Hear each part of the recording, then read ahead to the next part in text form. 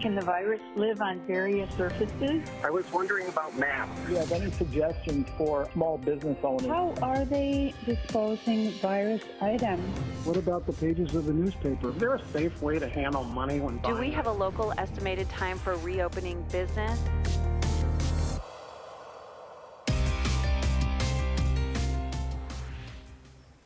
You have questions and we have answers. Welcome to our News 8 special edition. We're in this together answering your questions. I'm Barbara Lee Edwards. I'm Carlo Cecchetto. During the next hour, we hope to answer many of the questions we've been getting from viewers about coronavirus.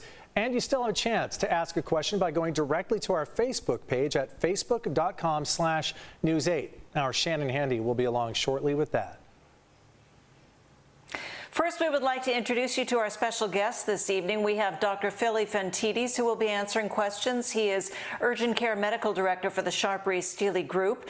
And we have County Supervisor Nathan Fletcher. Welcome to both of you, and thank you for joining us tonight. Yeah, starting us off will be Supervisor Nathan Fletcher. We want to thank you for making time. We know you've been very busy with your daily updates. Appreciate it greatly.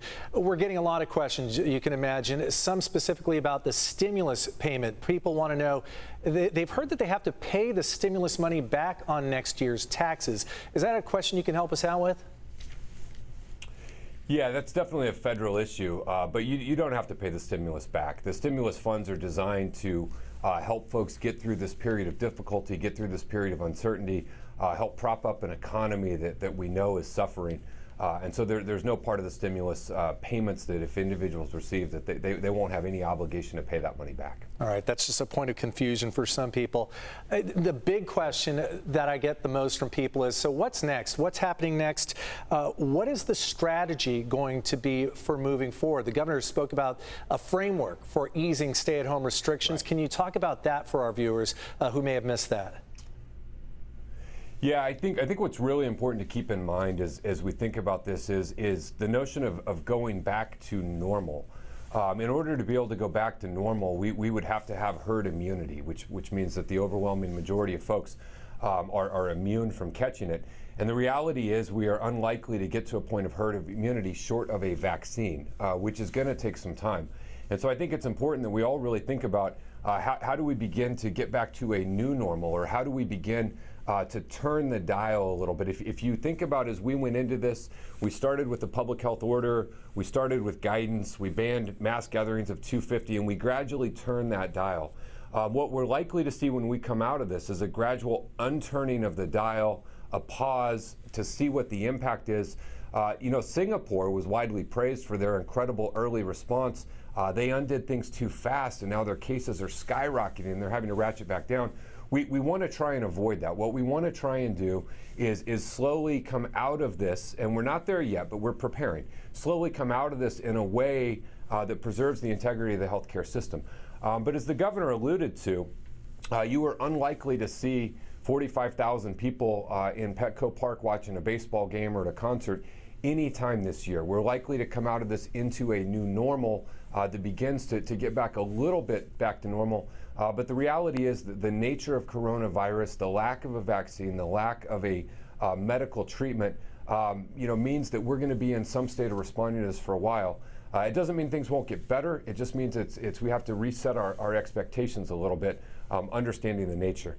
Uh, what the governor outlined were kind of six key thresholds that we have to meet uh, in order to begin to come out of it. The availability of not only mass, mass testing, but the ability to trace and isolate anyone who's positive, specific plans for the vulnerable, reimagining businesses and schools and, and what that will look like, um, and a series of other steps that we have to do. And we are working every single day uh, to answer those six areas, to develop plans, to assess our infrastructure, and to be in a position um, once we think it is appropriate to begin to take those initial steps up one of those components which is critical and there's a lot of controversy about we had a pop-up testing station go up in Miracosta that is being shut down by the county now Pe people want to know when will they be able to get tested for themselves when will there be widespread testing to find out if people are asymptomatic or whether they've had it already well, and I wish I could tell you. Uh, one of the most frustrating things of, of, going through this is there's just so many things that uh, we just don't know. And I think we've tried to be very transparent with the public from a public health standpoint about look, this is what we know and, and this is what we don't know. Uh, we know that we are seeing an increase in testing. Uh, we're seeing an increase in testing in both the PCR, the, the kind of test that we're used to seeing, and we're seeing progress being made on, on the more uh, serology based testing uh, that can do in a different way. Uh, but the reality is, you have an entire planet that is all fighting for the same limited capacity of testing. And while you have a lot of labs and a lot of commercial resources and folks ramping up that capacity, uh, we have to continue to fight. Um, a few weeks ago, there was a story out that San Diego County was doing better than most other counties in terms of testing per 10,000 residents. We want that to continue, but it's really important uh, that, that, that if you get a test, you have to feel confident that it is, it is a good test, uh, that it, is, it has been evaluated, it has been approved, uh, and we have to be really mindful in these difficult periods of individuals uh, popping up, maybe taking advantage of the situation, uh, who, who are not properly trained or, or, verified in order to do it. And so we're fighting every day to get more testing. Uh, we're beginning to see increases, and we're beginning to see on the horizon some, some significant increases in the availability of testing. Uh, but we've, we've got to just be patient as, as we get out there and fight for more. And, and we're going to continue to do everything we can to get every valid and viable test deployed in San Diego County, but it's got to be valid and viable. Yeah, huge logistic hurdles to getting to that. Supervisor Fletcher, we're going to check back within with you in a little bit later in our newscast, so don't go anywhere, okay? Perfect. Uh, since the start of this pandemic, we've gotten a lot of guidance from federal, state, and local governments. That leads to our web poll question. Who are you most confident in for leadership during this crisis? Federal, state, or local government? To take part, you can go to cbs8.com slash vote, or you can use the News 8 app right now. Uh, the, the level of government giving you the most confidence is the state government at 81%, but we'll update that. We just got that going. We'll update it a little bit later on. When we come back, more of your questions for our special guests and everything you need to know about filing for unemployment. Don't go away.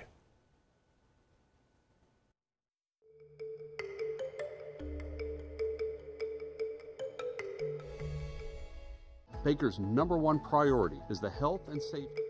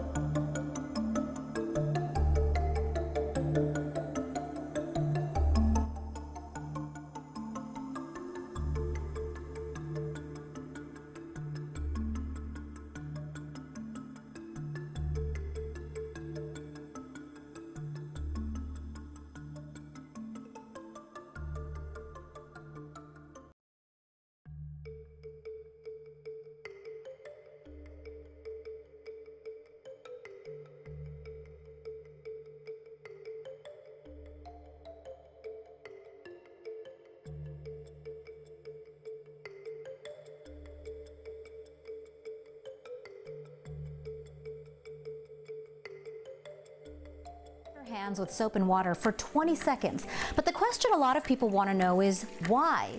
Why 20 seconds? Here's why. Take a close look at soap, and you'll see it's made up of molecules with two different ends. One side loves water, the other loves fat. Use soap and water on oil, for example, and the soap molecules go to work. The water loving side goes toward water, the fat loving side breaks down the oil. That's why it cleans your dirty dishes so well. But how does it work on the coronavirus, which is named after these crown like spikes? These allow the virus to attach to your lung cells, causing major damage. But the outer layer of the virus has a weakness the fat loving side of the soap molecule. See that? That outer layer? Scientists call it a membrane of oily lipid molecules. That outer layer is no match for soap. Each one pries the membrane apart, exposing the water soluble inside of the virus to, yes, water. Eventually, soap forms a bubble around the bad stuff. Scientists call it a micelle. Add more water, and it all washes away. So, why 20 seconds? Your hands have a bunch of lines, which viruses like to hide in. More soap time, more time to clean those cracks. So get going and start counting. One, two, three, 20 seconds should do the trick. Good description. Joining us now over the phone is Dr. Phil Yphantides, who is the urgent care director with the Sharp Rees-Stealy Group, and we have a question for him tonight. Thank you for joining us. First of all, Dr. Yphantides, our first question comes from San Diego and Tim Fojek, and he has recorded it and sent it in. So let's take a listen to what he has to ask you. Regarding the virus, many of us are following the rules, including for social distancing. Does this mean that our reward at the end of the stay at home period will be that we become a significant target for the virus going forward? Because we likely have no immunity to it. So that's the question. A lot of our questions actually have to do with immunity, and he's concerned, I guess, that he's not building any immunity to it, he and other people who are following all the guidelines right now. Is that really going to happen? Well, thanks for inviting me. Um, flattening the curve does prolong the period of time we will see cases in the local area, yet it is the most effective way to limit the number of cases and the number of unnecessary deaths. It's estimated that the vast majority of San Diego is still vulnerable, and we don't have widespread immunity yet. Um, but an analogy of thinking about this is we're on the battlefield, we're hunkered down in a trench with no weapon, as long as we're in the trench, there's bullets flying overhead, and we're in the safety of the trench, and we can stay hunkered down for a while. But we have no defense against this virus since it's a novel virus. We've never seen it infect humans before, and we don't yet have a vaccine. San Diego is one of the most prepared large metropolitan areas in America with the COVID response we've uh, instituted thus far. Uh, we instituted the stay at home order. As you know, March 16 went into effect on St. Patrick's Day, March 17. We don't have widespread immunity yet, um, but we eventually will. But the whole point of lowering this curve is to prevent a surge in cases and rapid proliferation of new cases, which will result in unnecessary uh, loss of life. So, what's happening in other metropolitan areas is not what we want to happen here, and thus far we've been successful. Here we are, four and a half, almost five weeks into the local spread. We still haven't seen a surge. So uh, our goal is to hopefully get our population closer to the institution of a vaccine that will actually work. And if we can do that, we will save thousands, if not tens of thousands, of lives uh, with the, with what we're doing now. So this notion of individual immunity and somebody staying at home, one person following all the rules, perhaps not exposing themselves to anything, they're not going to have a weaker immune system than anyone else who is out there maybe not following these guidelines then? No, by staying home and avoiding exposure to the virus, they're avoiding the two to three, maybe three percent chance of death. They're avoiding the uh, 20% chance of hospitalization, and they're avoiding the 5 to 8% chance of being in the ICU on life support. So that's the goal, and thus far in the San Diego metropolitan area, we've done remarkably well still the best advice. Some people are wondering when we give out the numbers every day of the new confirmed cases, and they're wondering about the number of people being tested. Do you happen to know what percentage of people being tested are coming back positive? I do. So out of tw- over 27,000 tests in the county, 1,930 uh, tested positive as of the numbers that came out uh, yesterday. And that's a 7% positive rate. At my own clinics at Sharp Reese Daily Medical Group, we've tested about 1,200 patients, and we've had 135 of our patients test positive, which is about an 11% positive rate. So, still, the vast majority of illness causing fever and upper respiratory symptoms is not COVID and that's why we don't have widespread immunity, and that's why, as, Doc, uh, as uh, Supervisor Fletcher mentioned, we are, are looking to implement the serology antibody testing, but that testing doesn't have much utility yet because so few San Diegans have actually had COVID. It will have great utility as we have much more disease burden locally.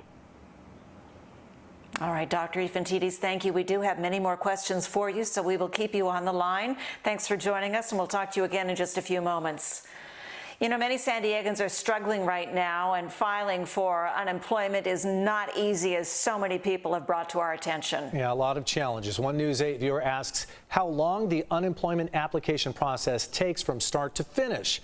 News 8's Monique Griego got some answers that you're looking for. We know right now there are a lot of people that need to file for unemployment and are having issues or just a lot of questions. So we wanted to speak to people to try to get you any information that could help you through that process.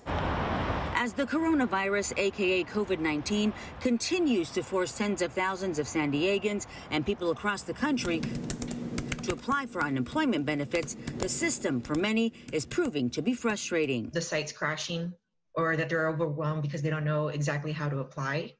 So we've been uh, sending out information through Facebook and our email blast through the Hispanic Chamber of Commerce uh, to provide that information to the general public and as well as our membership. Iris Garcia is the president and CEO of the Hispanic Chamber of Commerce. Even though we all know that there's not many job opportunities out there right now, uh, many people can't find work and we all know it's due to the pandemic. It's an issue affecting people across the board, communities struggling to navigate the system to get assistance and make ends meet. And sometimes the assistance programs can be complicated. Ricardo Villa is Garcia's vice chair and also owns a payroll company. So it's become more complex, and there's a lot of questions happening at the same time and trying to get them pointed in the right directions. The employer and the employees, you know, the employer not sure what they're supposed to be doing uh, or if they're supposed to be doing anything.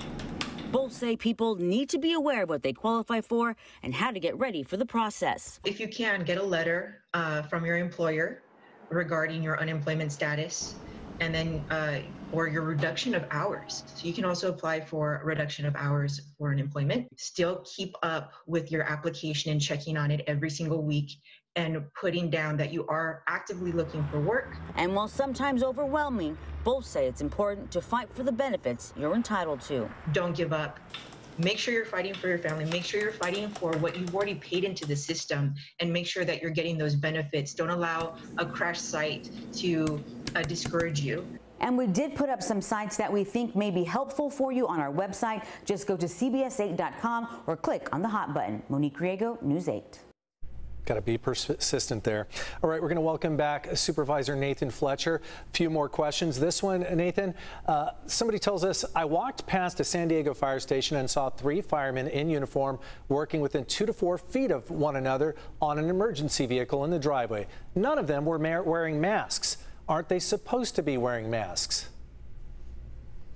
Yeah, thank you for the question. Uh, there, there is uh, at times kind of uncertainty. We know that there's been a lot of orders. There, there, there's a lot to digest. Uh, our public health orders are a strong encouragement for everyone when they leave their home. Uh, whether they're going to an essential job uh, or they're going to an essential service, it is an encouragement that they wear a mask. Um, but it is just that as an encouragement. It is not a it is not a requirement. Uh, we do have a handful of categories of, of, of uh, entities where it is required that the employees wear a mask. These are things like grocery stores, banks, convenience stores, pharmacies, gas stations. Um, there, there, are a handful of others, transit centers, um, transit uh, operators, where the employees are required to wear a mask, uh, but that is, that is not a requirement for our first responders.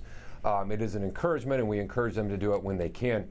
In terms of the, the physical distancing, we, we strongly encourage that in essential businesses, but the reality is there are some essential businesses that just as a matter of practice cannot always maintain six feet physical separation. Uh, if you're in a hospital and your doctor is operating on you, of course, it's impractical for the doctor to be six feet away. Uh, if you're a firefighter and you're responding to a call and, and, you have your fellow firefighter right there beside you and you're working on an issue, uh, it may not be practical for them to achieve that. Um, and so, again, the, the, face coverings are a strong recommendation for everyone when you leave your home. Uh, and for those seven uh, business entities, uh, some of which I listed off, it is a requirement for the employees. Um, and, and again, the, the face covering primarily serves the role of, of, you may be positive and not know, and that can help stop you from spreading it. So it's protecting others, uh, provides some protection from you gaining it, but primarily it's to protect uh, you from other folks. All right, hence uh, Chairperson uh, Cox is if you leave your place, cover your face. We'll check back cover with you. Cover your face. Yeah, yep, right. there you go. We'll check back with you in a few. Thanks. And there's much more ahead tonight with Dr. Yphantides and Supervisor Fletcher. We're also keeping an eye on your questions that are coming in right now on our Facebook Live. I'm Shannon Handy live from my house. I'm monitoring our Facebook page right now. You can go to the CBS 8 Facebook page and ask questions, and we will try to get our experts to answer them. We'll have that coming up. Hey, San Diego.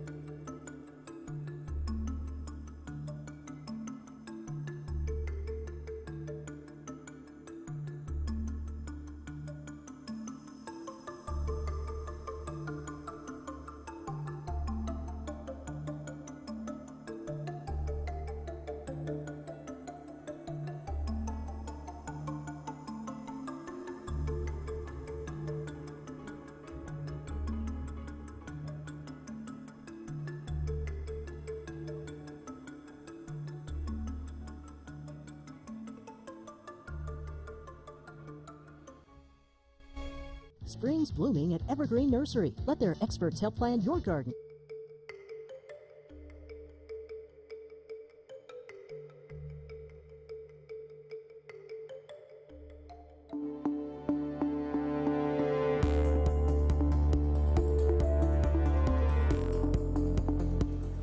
Welcome back. Some of you watching this special right now on Facebook Live have questions of your own. News 8 Shannon Handy is following those, and she joins us now live with a question for Dr. Yphantides. Shannon? Thanks, Barbara Lee and Carlo. Yeah, I'm here at my house and I've been monitoring the Facebook page. And again, you can still chime in. Just go to Facebook and search for CBS 8. Now, Dr. Yphantides, one of the questions we received was from Philip Aguilar. He says, Why is the making of a coronavirus vaccine so slow?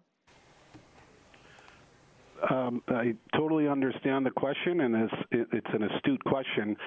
Um, it is actually uh, slow, maybe compared to what uh, some folks are used to with new products coming to market. But in terms of vaccine and drug development, having a, uh, we're hopeful to have a coronavirus vaccine available for widespread use in early t- 2021, just about nine to 11 months away. That's actually lightning fast for a medical intervention. Normally, medical interventions must go through several phases of clinical trials. It's a multi year process, sometimes can take up to five to seven years. So, for us to actually uh, have something like a vaccine for widespread population use on hundreds of millions of people, uh, not only in this nation but worldwide, is a lightning fast proposition to have that uh, launched within one year. The FDA has fast tracked this research. There are several research uh, institutions around the, na- uh, the nation, but also the world, all working on uh, verifying and vetting vaccine uh, uh, particles of this virus that will be effective in achieving an, an, immune response. But you can imagine, you once you create the vaccine, you have to use it on healthy individuals, and then you have to see if it actually generates a an antibody response. Not only that, you have to then see if those antibodies that are generated are actually effective against the COVID virus itself because the, the, the, virus has different particles, protein particles that you can uh, uh, target, and a vaccine, an effective vaccine, targets a very sensitive part of the vac- of the virus that enables the, the vaccine to generate an immune response in the host that will protect the host from the real infection. So, really, getting that out within one year is quite an amazing feat and something that we have not seen done in uh, recent history. Okay, thank you so much for that explanation. I know a lot of people were curious about that. We will let you go for now, but we'll have you stay on the line to answer some more questions later. And for now, I'll send it back to you guys in the studio. Thanks, Shannon. Thanks, Dr. Yphantides. Our We're in This Together special continues with more of your questions. It's coming up next. I'm Marcella Lee. A lot of people are wearing gloves when they go out. But a common question we're hearing is do gloves really help protect us from the coronavirus? When you wear gloves to the grocery store to pump gas or grab your mail, you might be lulled into a false sense of security. But there's one big problem cross contamination. Doctors say viruses can live on gloves. So if you touch a grocery cart that's contaminated, for instance, you can spread it to the next thing you touch, like your cell phone. Hold that up to your face, you've exposed yourself to the coronavirus. Doctors say gloves will not help if you're not going to change your habits. Also, there's a specific way to peel off your gloves so they end up inside out to prevent germs from getting on your hands. Make sure you throw your gloves directly in the trash. And this is important. Immediately wash your hands, use a disinfectant wipe or hand sanitizer just in case your gloves had a small tear or you exposed yourself to the virus while removing them.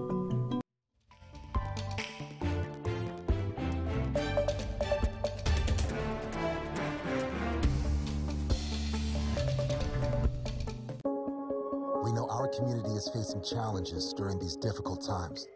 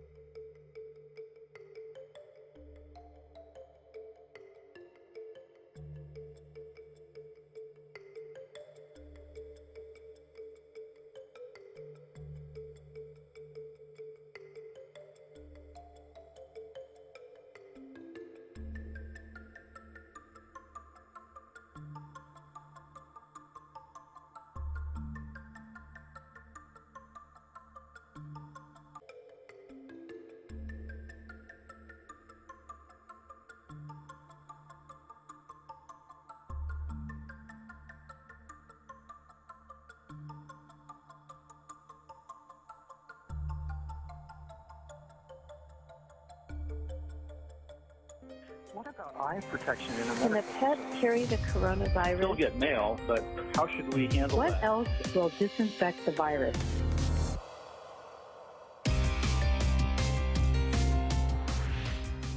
And welcome back to our News 8 special. We're in this together. Your questions answered. I'm Barbara Lee Edwards. I'm Carlo Cecchetto. You still have a chance to ask your question by going directly to our Facebook page at facebook.com slash news 8. Our Shannon Handy will be along shortly with those questions. We are going to continue our questions now. This one is for Dr. Yphantides, and it is from Brian Jones. He says it has to do with people approaching you when you're out walking your dog. Listen. As that dog approaches someone else, the others often pet the dog in an attempt to make friendly with the people and the dog. And then, if they are asymptomatic or sick, possibly transfer the virus to the coat of that animal. My question to you is that something we should worry about? Yes, uh, thanks for that question. And the answer is yes, that is something you should worry about. Um, someone who has the viral infection, if they touch their eyes, nose, or mouth, uh, they can certainly uh, transmit that infection onto your pet. And if you then touch your pet after they've touched the pet, yes, absolutely. And uh, a related question that often comes up is uh, Are dogs susceptible to coronavirus? There have been some case reports worldwide that some dogs and even cats have been infected with coronavirus, but it's an extremely rare situation. Uh, now, there was the report of a, a, large cat, a tiger, at the New York uh, Bronx Zoo with respiratory symptoms that uh, uh, tested positive for coronavirus, and it's thought that that tiger got the infection from uh, one of the workers there that was also uh, positive for the virus. But the recommendation is just like we maintain social distancing of at least six feet from others, uh, we should be doing the same with our pets. And I think it's reasonable if you're out on a walk and you're going to be crossing paths with another uh, uh, neighbor or uh, with or without a pet, uh, a dog that they're walking, that you cross the street, that you maintain social distancing, and in a nice way possible, uh, in a neighborly way, let your neighbor know, hey, uh, let's maintain our distance and keep each other safe. And it's reasonable to not let others pet your dog. And that way, uh, your animals and you can uh, maintain safety and not risk catching the infection on a, on a pleasant walk in your neighborhood. Absolutely. So your dog is another surface that can still pick up the germ, and it is an extension of you if you're out walking. Carry the same rules with the dog. Now, somebody else asked if the main reason that COVID 19 kills people is that it causes pneumonia. People are wondering does it lessen the effect or the risk at all if you've had a pneumonia shot? Uh, excellent question, uh, Barbara Lee. The pneumonia shot that they're referring to is a vaccine that's specific for Streptococcus pneumonia, uh, which is a bacteria and uh, has been, used to be the most common cause of uh, community acquired pneumonia in the United States. Since that vaccine has been instituted, we are seeing many less cases of Streptococcus pneumonia, that bacteria. So, having had that vaccine to protect you from that bacteria does nothing at all to protect you from coronavirus and from catching coronavirus pneumonia? It's an excellent question, but the vaccine is for a different uh, pathogen. In that case, it's the bacteria Streptococcus pneumonia. So the, the one message we are driving home to people here is this is just something completely different that we don't have a cure for or a vaccine for yet, and everybody just needs to be extra vigilant because of that. That's correct. All right, Dr. Yphantides, don't go away. We'll have more questions for you shortly, and thank you for answering those. Back to County Supervisor Nathan Fletcher for our next question. Viewers seen footage of streets being disinfected or sprayed in other countries and wonders why we're not doing that here in San Diego, Supervisor. Thank you uh, for the question. We're looking at every option for everything we can do uh, to respond to this, both from, from personal hygiene, from hygiene of buildings, certainly to hygienes of our streets and other things. Uh, the County Department of Environmental Health uh, outlines the procedures uh, that, that, jurisdictions can follow and should follow um, as it relates to disinfecting surfaces. Um, and, and I think we've seen our Department of Environmental Health really respond creatively, uh, looking for everything that we might do to protect the public. And we'll continue to, to look for those opportunities and look for more things that we need to do uh, in order to best protect the public. Uh, but again, to, to, reiterate, the best thing you can do um, are, are the, to protect yourself are the things that we've been outlining, the things that Dr. Ian talked about. Uh, it is that stay home. Uh, if you have to leave, ensure physical distancing. And, you know, just to follow up, Dr. Yphantides made a great point that there's any number of surfaces where coronavirus may live, and if your hand touches it and it's there, then you may come in contact with it. But as long as you don't touch your mouth, your eyes, or your nose before you wash your hands for 20 seconds, uh, you will be okay. And so we'll keep looking for every opportunity to disinfect everything we can. Uh, but the most important thing is a decision each and every one of us make uh, about disinfecting our own hands and coming up with your own routine and your own song or poem or whatever it is you do to, to get to that 20 second threshold. And you've brought that message home many times. That, along with the assumption that your neighbors, everyone around you, assume all of them have the virus and are carrying it. If you want to keep yourself safe, behave as such, correct? Exactly right. And, and, and if you go in, in, in that mindset, and you can still be friendly to folks yeah. uh, from six feet away, you can still wave at folks and still say hello. Uh, but it is really adopting that mindset. And, you know, something that, that is really incredible is so often we give public health advice about what folks should do uh, to improve their own public health. And, you know, sometimes we get adherence to those and sometimes we don't. Uh, but in this, in this instance, we've seen San Diegans respond across the board. Uh, people have made tremendous sacrifice. They've made a tremendous commitment. Um, and, and they've made a commitment because their actions impact others. You know, as we each choose to, to adhere to these guidance and, and as we choose in our family units to do the same, it's not just your own life you're saving, it's the life of someone else. Uh, and so it's been really encouraging to see our community come together. One of the reasons that San Diego has, has had so much initial success in flattening the curve, and I want to caution that by saying initial success uh, because the coronavirus is just as contagious tomorrow as it was a month ago. And so we can't lessen our posture today, but we've seen so much initial success because San Diegans have truly bought in out of a desire to help one another. Yeah. Um, and it's, it's really struck me that in San Diego, the coronavirus is not the only thing that is contagious. A spirit of community, a spirit of compassion, a spirit of looking out for one another, uh, a spirit of reaching out to each other during this difficult time. And it is very, very difficult for so many folks uh, that is contagious, and that's what's going to really help us get through this together. All right, as we like to say around here, we're in this together. Supervisor Fletcher, we'll be we're back in, in a together. few with you. Since the start of this pandemic, uh, we've received a lot of guidance from federal, state, and local government. Tonight's web poll Who are you most confident in for leadership during this crisis? Federal, state, or local governments? Those results so far 17% trust the federal government most, 74% trust the state government the most. 9% look to the local government. Please stay with us. More of your questions are straight ahead.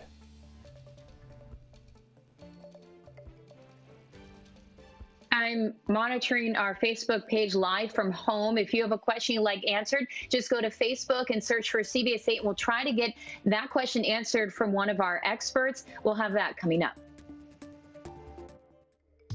Just go to 2020census.gov.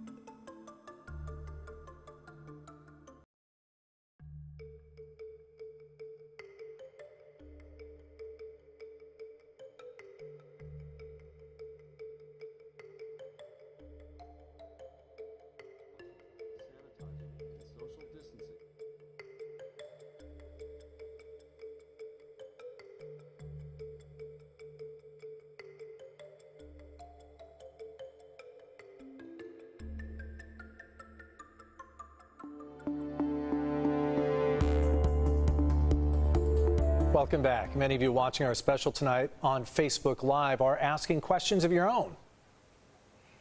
News 8 Shannon Handy has been keeping an eye on those questions for us tonight. She joins us now live with a question for County Supervisor Nathan Fletcher. Shannon? Thanks, Beverly and Carlo. A lot of people are chiming in, so we thank our viewers for that. Supervisor Fletcher, Kathy Carrico asks, question for Supervisor Fletcher. If we encounter a homeless person, who should we contact?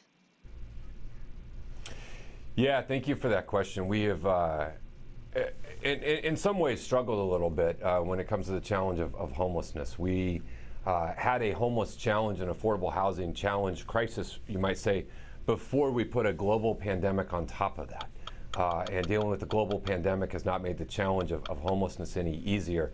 Uh, we have moved rapidly to get public health nurses with homeless outreach teams looking for symptoms to have public health uh, motel rooms available for those who need it, uh, hundreds of rooms for the regional task force on homeless uh, to put individuals in, and then, of course, the incredible work and effort of the convention center. Um, if you encounter someone on the street, the, the best advice that we can give you and the best recommendation we can make um, is to have them contact any of the homeless service providers who are out there.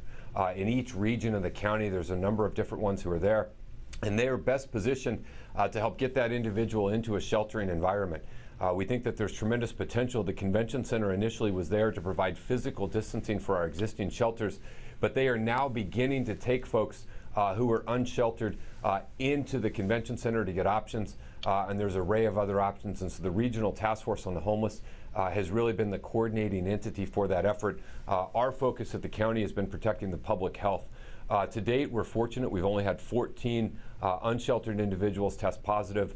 Uh, each of those individuals is getting care either at a county public health motel room, uh, which includes the, the food and the laundry and the sanitation, along with daily wellness checks. Uh, a couple have been in the hospital, um, and they will go to our public health rooms when they come out. Uh, but the coronavirus attacks particularly hard our vulnerable populations, our seniors, folks with respiratory illness, obviously folks uh, who have inequities in, in broader health care coverage, um, and that definitely includes the homeless. And so we've really tried to do a lot to address that. Um, but I think the issue of homelessness is one that transcends and is even bigger than coronavirus. Uh, and frankly, we have to do a better job. Uh, and we have to provide more services and we have to provide more options and provide more help. Uh, and it would be my hope that we can continue to do that. All right, thank you so much, Supervisor Fletcher. Again, lots of questions coming in. If we don't get to them during this special hour, we will monitor this page and try to answer those questions in the upcoming days on News 8. But for now, we'll send it back to you guys in the studio.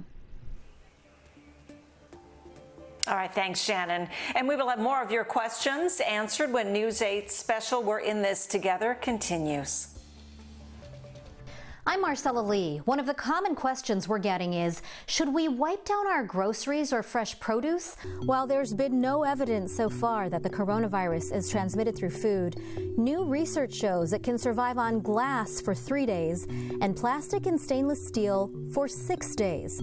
Scientists also believe it can survive in your refrigerator for weeks and your freezer for years. Michigan Dr. Jeffrey Van Wingen says those who want to be extra cautious can disinfect their groceries before putting them away.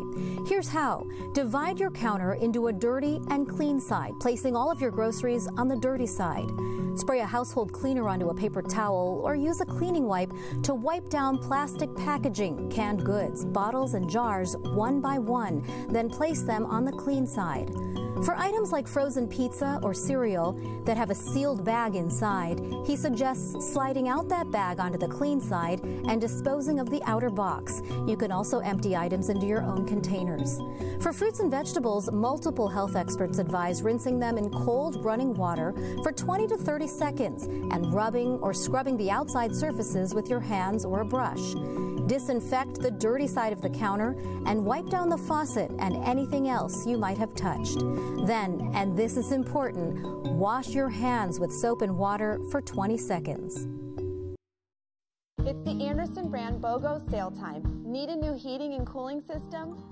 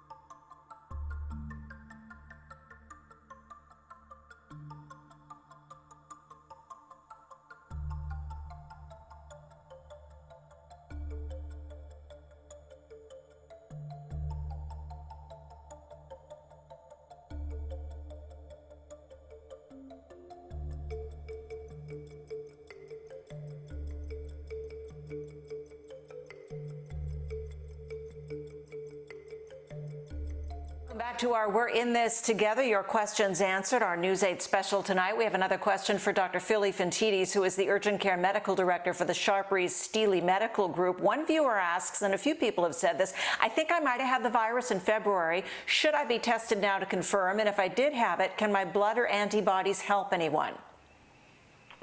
That's an excellent question. I'm so happy that uh, a viewer brought that up. The answer is yes, you could be very helpful. Uh, the National Institutes of Health and the Red Cross are currently running research studies on use of antibodies from patients who recovered from COVID 19 to see if these would be helpful in the treatment of hospitalized patients with severe COVID infection. This is called use of, quote, convalescent serum. Uh, the San Diego Blood Bank locally is accepting plasma donations from those who have recovered from COVID for this purpose. And for those interested, they can go to the san diego bloodbank.org and click on the COVID 19 uh, update link there for more information. It's fine if you don't have a positive uh, COVID test that confirmed the COVID infection, but if you were sick for a couple of weeks with a flu like illness, uh, you can still put your information in.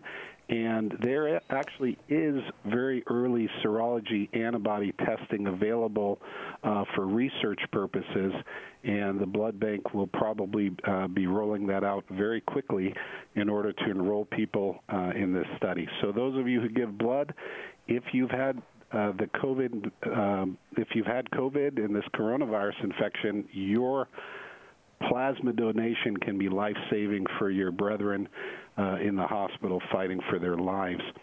Uh, in terms of other antibody testing, um, has been, as I think uh, Supervisor Fletcher has already mentioned, the current there, there's only one FDA approved antibody rapid test on the market, and it's from an outfit in North Carolina, and that was just approved, uh, verified by the FDA last week all of these other rapid antibody tests that are available on the market have not been FDA approved. The FDA has been somewhat permissive in allowing some limited use. However, there, there have been case reports from Texas and other areas that some of these tests are essentially worthless. Um, when we have a diagnostic test, we look at sensitivity, which is the test's ability to pick up uh, the virus or whatever it's testing for when it's actually present. And we look at specificity, which is the ability of the test to identify true negatives. The sensitivity and specificity thus far of several early marketed antibody tests has been dismal and there's a wide variation. And as I mentioned before, probably well under 5% of the San Diego population has had COVID up until this time. Therefore, that is a good uh, something good to point out. I'm sorry, Dr. Yphantides, we have run out of time for this segment, but I will continue to talk to you, and I do want to post some of this stuff online. So please stay with us, and thank you once again for joining us this evening.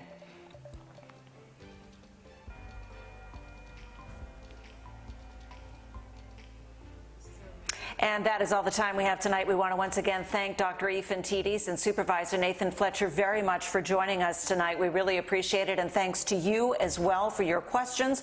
We're going to wrap up this special edition of News 8 next.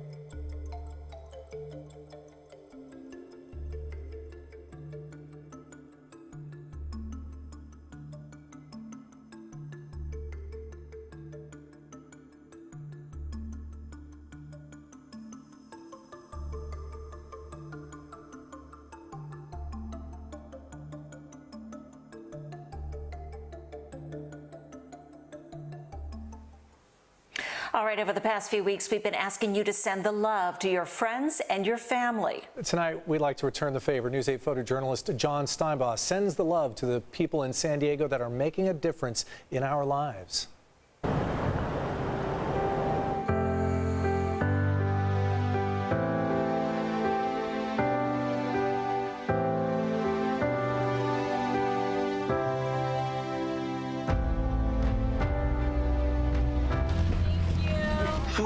Always critical in our community. We're going to hand out 20,000 pounds of meat today.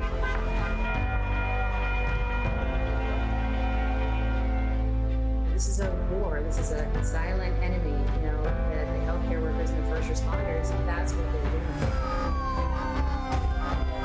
Healthcare workers are in the trenches and they're out there and they're they're the closest to it at anybody. So we wanted to come out and say thank you.